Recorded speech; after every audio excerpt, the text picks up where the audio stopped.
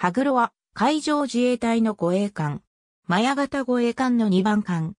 艦名は山形県の出羽三山の一つである。羽黒山にちなみ、妙高型重巡洋艦。4番艦、羽黒に続き、日本の艦艇としては2代目。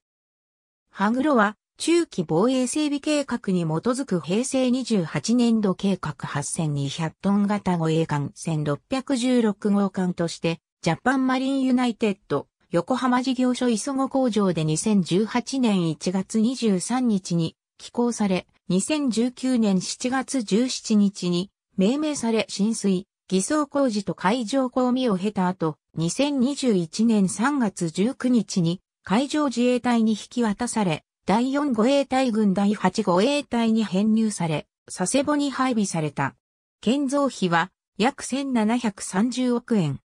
海上自衛隊では8隻目となるイージス艦であり、本艦の収益により、安倍内閣が2013年12月に閣議決定した防衛大綱以来、目指していたイージス艦8隻体制が確立した。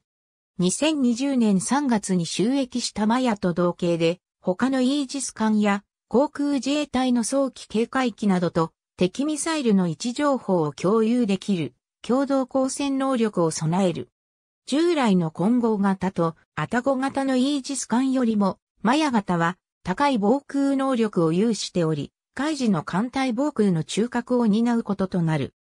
ハグロは日米が共同開発した新型迎撃ミサイル SM-3 ブロック 2A を搭載する予定であり、迎撃できる高度は SM-3 の倍の約 1000km 超となり、防衛範囲も倍増する。